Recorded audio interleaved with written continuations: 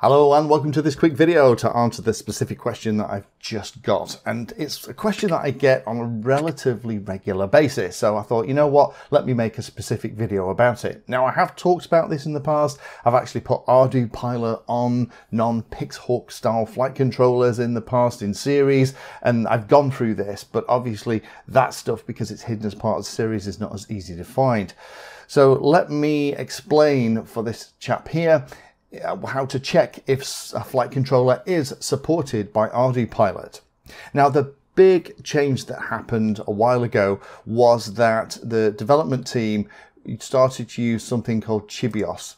Now Chibios, this thing here, is something that sits in between ArduPilot and the flight controller hardware, and it really unlocks the ability for ArduPilot to run on all kinds of things, not just like Pixhawk and CubePilot systems, but actually on the stuff we use in the hobby as well. And there is one place that actually shows you all the different versions and things that you can put it on. Now don't worry, I'll put a link to this thing at the top so you can go and have a look at this page. And it's worthwhile keeping an eye on this when you're looking at a flight controller because new flight controllers are being added all the time. Now obviously the ArduPilot guys are really kind of pushing the Pixhawk and CubePilot style flight controllers because they do have additional features over the hobby grade flight control systems that we use. It's one of the reasons why they're a lot more expensive. Things like IMU heaters, you know, you find those on things like the CubePilot system, IMU redundancy, things like I squared C and CAN buses, all kinds of stuff. However, if we scroll down here, you can see that laughingly, they've called it open hardware. I'm not sure I agree with the terminology here, but here's all the different Pixhawk style systems, the Holybros. Some of them are actually called Pixhawks. These days, they tend to not call it that stuff. Um, however, you got all the Cube Pilot system here, which is kind of your professional gold level standard. And then you have something called closed hardware. Again, I think this is kind of the wrong way around, but here's all the stuff that we would tend to use in the hobby, as well as things like the Holybro Kakute stuff, which I quite like. We have some of the uh, Matek system stuff. We have some of the old Omnibus stuff. In fact, the Omnibus is one that I did a series on a long time ago. We stuck ArduPilot on it and stuck it in a wing. And then coming down here, we have things like the SpeedyBee F405 um, F4 and the Wing and the Wing Mini, which I think are fantastic development environments for things like ArduPilot. And when people come to me and ask me about ArduPilot, I do recommend getting something like a £36, $36 SpeedyBee F405 wing and messing about with it because it's great. You can play with ArduPilot on that. And then when you want to build your professional rig, you can go and treat yourself to something up here or even one something like the Cube Pilot Orange Plus. So if we just look at one of these, let's choose something like the SpeedyBee F405 wing.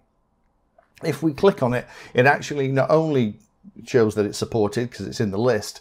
But if we go down here, we actually get a lot more specification stuff. And crucially, we have a wiring diagram of how we need to connect everything for ArduPilot and the UART order of how it is configured, as well as hints and tips for how all this stuff comes together.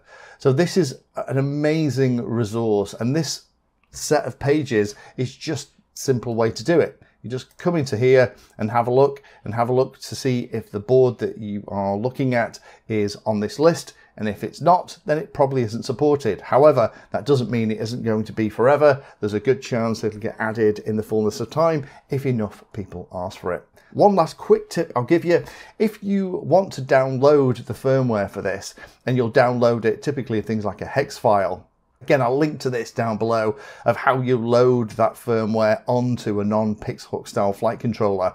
Uh, there's loads of information about flashing tools and just zoom down to the bottom, forget all that stuff.